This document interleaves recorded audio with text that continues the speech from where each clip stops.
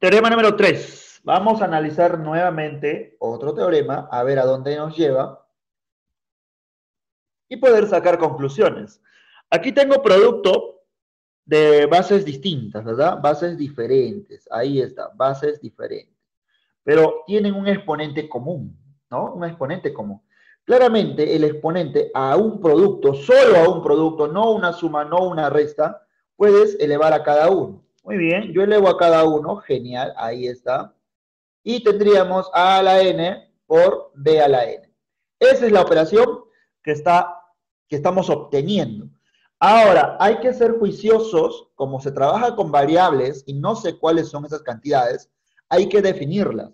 Entonces, al definirlas, aquí estamos avisando que A y B, por ejemplo, tienen que pertenecer al campo de los números reales. Es decir, puede ser cualquier número real. Muy bien, A y B, cualquier número real. El exponente, aclaro, aquí yo defino que esté en el campo de los números naturales. ¿Ya? Números naturales. Entonces, con ello ya estoy descartando de que n puede tomar el valor de 0. ¿Ya? Descarto el valor de 0. Entonces, si está, es posible que esto se Sí, sí es posible. ¿Ya? Así que ahí está bien definido. Ahora, profe, ¿n también puede pertenecer a los reales? Sí, n puede pertenecer a los reales. Esta cantidad que tú estás apreciando acá, n, sí puede pertenecer al campo de los números reales, pero, pero, no te olvides, hay que restringirle el cero, ¿ya? Ya que A y B, ya que le estás diciendo que A y B sí puede ser cero, entonces 0 a la 0 no está definido. Mucho cuidado en la operación para que te dé el resultado llamado potencia. ¿Ya? Entonces, aclarando eso, muy bien, ya viendo, ahora vamos a hacer las operaciones básicas que se tiene en cada uno de ellos.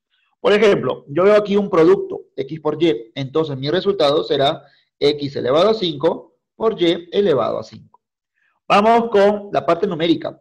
Al revés, yo veo que ambos tienen exponente común. Estamos aquí prácticamente en la definición entonces puedo escribirlo como un solo exponente y que los números queden multiplicados.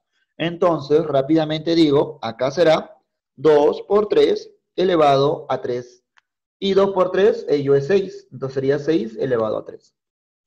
Aquí, de la misma manera, vamos a aplicar de forma distributiva a cada uno de ellos. A cada uno de ellos. Es decir, aquí tendríamos raíz de x elevado a 16 por y a la 7 elevado a 16. Luego tendríamos por z a la 8 elevado a 16.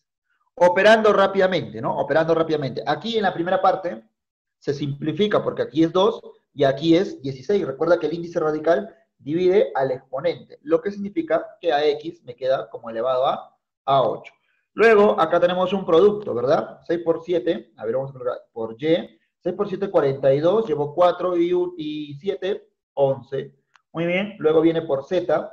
Z, ¿no? 8 por 6, 48. Y sería 128 el resultado. Ahí está. Entonces, digamos, operando cada uno.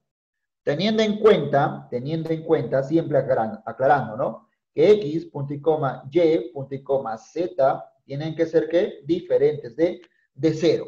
Vete acostumbrando a eso, por favor, ¿sí? Que cuando veas variables, aunque no te lo diga, tú tienes que ir acostumbrándote. Y poco a poco, poco a poco, cuando tú estés acostumbrado a darle condiciones, a hacerte ese cuestionamiento de, ¿y si fuera cero? Ah, ok.